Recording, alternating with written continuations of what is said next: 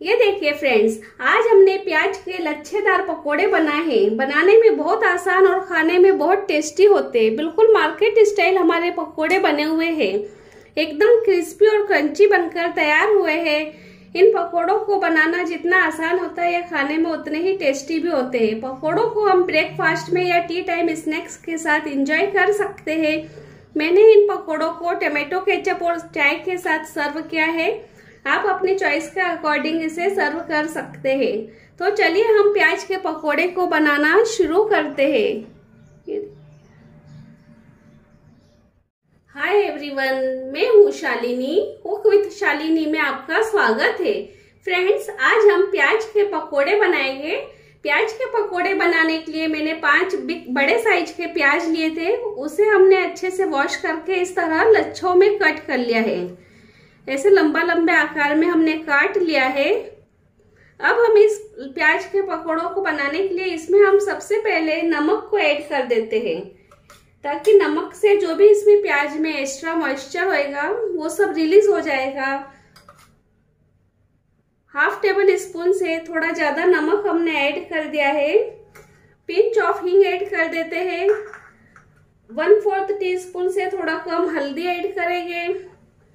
Half tablespoon red chilli powder add करेंगे। आप इसमें रेड चिल्ली फ्लेक्स भी ऐड कर सकते हैं।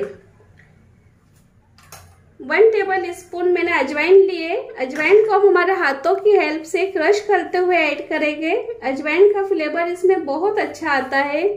अगर आप अजवाइन का फ्लेवर नहीं लाइक करते हैं तो आप इसमें जीरा भी ऐड कर सकते हैं। दो हरी मिर्च मैंने चॉप करके ले ली है, उसे ऐड कर देते हैं। अब इन सारी सामग्री को हम हमारे हैंड की हेल्प से अच्छे से मिक्स कर लेते हैं। इसमें प्याज में जो मॉइस्चर निकलेगा, उसी मॉइस्चर से हमें इसका डो प्रिपेयर करना है। इसे हम मिक्स करते हैं। अच्छे मसाले को प्याज में अच्छे से मिक्स कर लिया है। ये देखिए, प्याज के एक एक लच्छे अलग से हो गए हैं।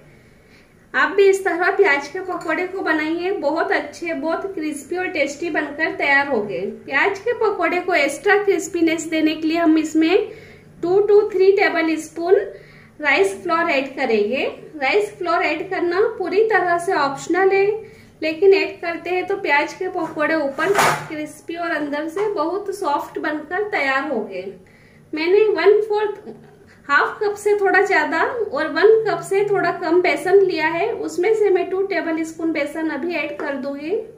ध्यान जो है, हमें बेसन थोड़ा थोड़ा करके ऐड करना है। जितना मॉइस्चर हमारे प्याज में होगा, उसी में हमें इसे मिक्स करना है। हमें अलग से पानी डालने की ज़रूरत नहीं पड़े। अगर आपको थोड़ा आपका मिक्सचर टाइट लगता है तो आप one two one tablespoon या टू टेबल स्पून पानी ऐड भी कर सकते हैं। मैं इसे अपने हैंड की हेल्प से अच्छे से मिक्स कर लेती हूँ। अब हमारा डो बनकर तैयार है। इसमें मैंने टू टेबल स्पून बेसन और बाद में ऐड किया था।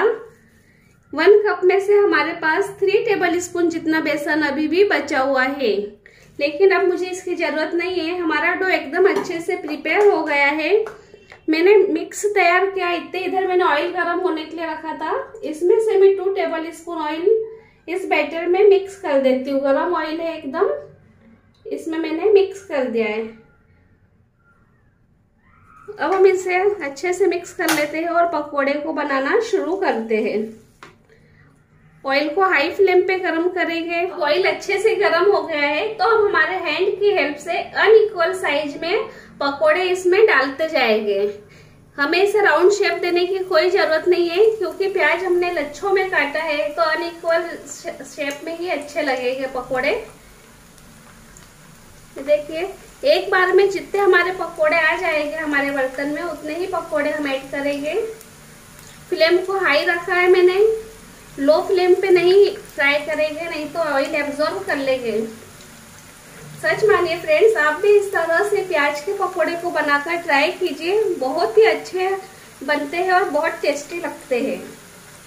एकदम क्रिस्पी बनकर तैयार होंगे और बिल्कुल मार्केट स्टाइल हमारे पकोड़े बनेंगे। अब हम पकोड़ों को फ्राई होने देते हैं, उसके बाद इसे टर्न करेंगे। अभी हम पकड़े को छुएँगे नहीं, जब तक ये ऊपर से हमें हल्के से ड्राई नहीं दिखे। अब हमें ये ऊपर से ड्राई दिख रहे हैं तो हम इसे टर्न कर देते हैं।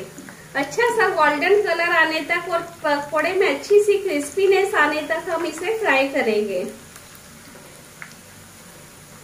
इस तरह से चलाते रहेंगे। फ्लेम को मैं पूरी प्रोसेस में हाई रखूँगी। लो फ्लेम या मीडियम फ्लेम पे पकौड़े ऑयल एब्जॉर्ब कर लेते हैं। अच्छा टेस्ट नहीं देते हैं। हाई फ्लेम पे रखें और कंटिन्यूसली ऐसे ध्यान रखते रहे, चारों तरफ़ से इसे हिलाते रहे। अब हमारे पकोड़े पे अच्छा सा गोल्डन कलर आ गया है। सारी तरफ़ से एक जैसे फ्राई हो गए और अच्छे क्रिस्पी भी हो गए हैं। तो हम इन पकोड़ों को निकाल लेते हैं और सेम प्रोसेस से सेकेंड बैच को फ्राई कर लेंगे। देखिए, कितने अच्छे और कितने अच्छे लच्छे दिख रहे हैं हमारे पकोड़े में। एकदम मार्केट स्टाइल पकोड़ा हमारा बना है। ये देखिए एक एक प्याज का लच्छा हमें नज़र आ रहा है। देखिए, कितना अच्छा बन रहा है।